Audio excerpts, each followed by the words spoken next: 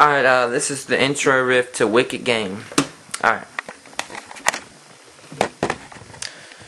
Now, the best way to do this is to think about it in sections. Alright, um, the first part, you play an open second string, and then you're gonna, on the seventh fret, you're gonna put your finger on it. You're gonna play it again. Second time you play it, you're to slide it off. You know what I mean? You're not even to stop at one. You're just to go and just slide it off. And you do that twice.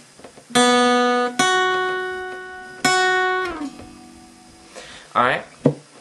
And then what you're to do is the chords used in the song are B minor, which is like this. It's like a same as the A minor chord, just barred second on the second fret.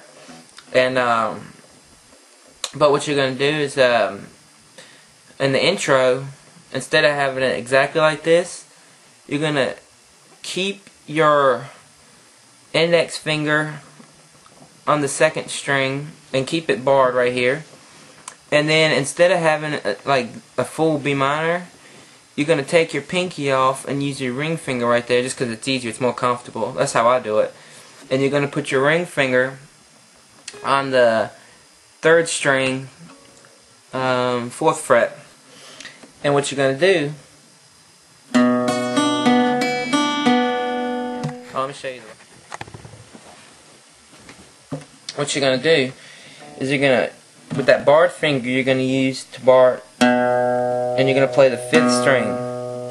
And then from the fifth, you go to the first, second, third, and then you're going to lift your finger off and play first, second, third again. And it's going to sound.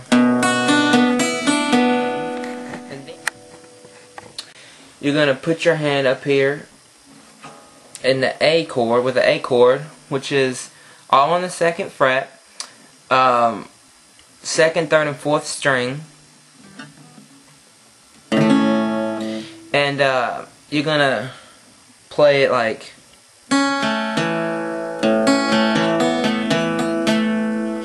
so you're gonna play like you're gonna go from a uh, first let me tell you, you're gonna go from an A to an A7, which is just your um, ring finger taken off. So it goes from Alright? And what you're gonna do is you're gonna play the second the same thing again, fifth string, and you're gonna go only this time, instead of the first string, you start on the second, third, and fourth. Which makes sense, right? Because, I mean, that's the three that your fingers are on now. So you're going to go... You're going to take your ring finger off, and you're going to hit it again. So it's going to sound like that. And here comes the easy part. You're going to go from the doing that to a E major chord right here, which is like a A minor, just all everything moved up one string.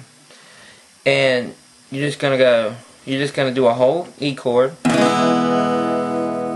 Alright. And then after that, you're gonna use only these two middle strings, only the third and fourth string, and after from the E chord, if you wanted to, you could just take your middle finger off and go. But I don't do it like that. I take, I just pull my middle, I just pull my ring finger off and put my middle finger down one. And in case you couldn't see it, it was, um, it's always gonna, it's only gonna be on these three strings, I mean on these two strings right here in the middle.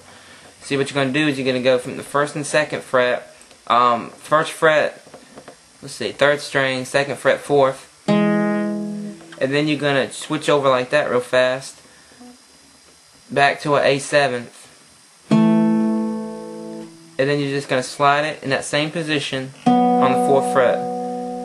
Alright? While you're doing all that here's how your fingers will go.